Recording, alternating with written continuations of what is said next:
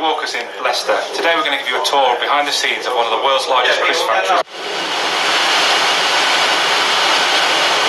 First stage of the manufacturing process of making our crisps here in Walkers is right behind me.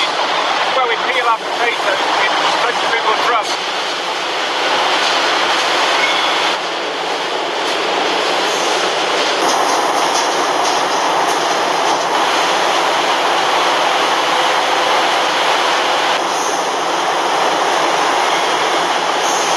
We now start to see the shape that we recognise in the crisp.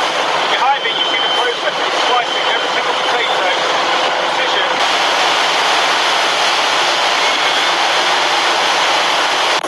We've now got to the point whereby we have our sliced potatoes ready to be fried.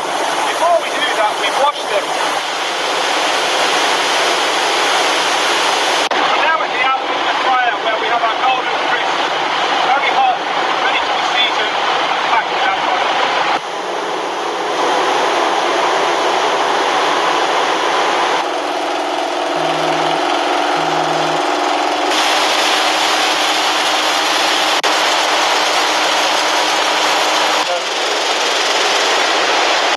Millions of perfectly fried crisps are now almost ready to be seasoned with our favourite flavours.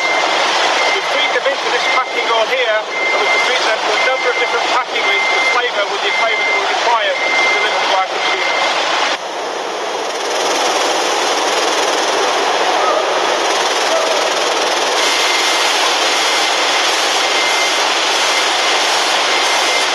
As said, we want to flavour the crisp with the perfect amount of flavour.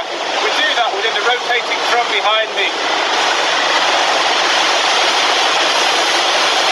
Within the drum, you'll see the crisp gently tumbling within the flavour.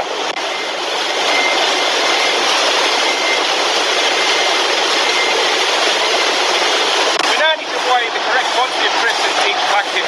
We do that by these series of weigh heads.